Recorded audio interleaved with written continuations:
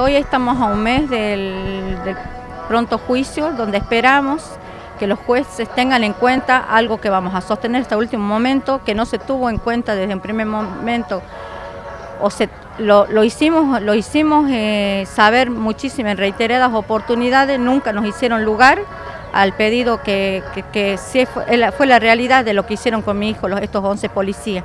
Vamos a seguir sosteniendo hasta el último momento que fueron 11 los policías, son 11 los policías los responsables, no son 6 los que solamente van ahora al banquillo. Eh, lo que cometieron con mi hijo, el delito que cometieron primero y principal es privación ilegítima de la libertad. Ellos, a él lo, lo, privan de la libertad sin motivo y sin razón. Es algo que quiero que la sociedad y estos jueces lo tengan bien en cuenta. Él no le hace nada a nadie, simplemente pide en la vía pública que no le peguen a su amigo Leonel González.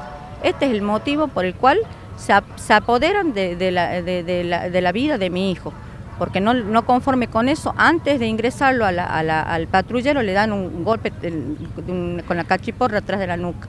Hay un testimonio de eso que después poco a poco vamos a ir haciendo ver todas las pruebas esas que, que en los medios salen a decir que no tenemos pruebas, tenemos más que suficientes pruebas. Para la gente que está viendo esta nota, ¿cuánto tiempo hubo que esperar para que esta causa finalmente llegue a juicio?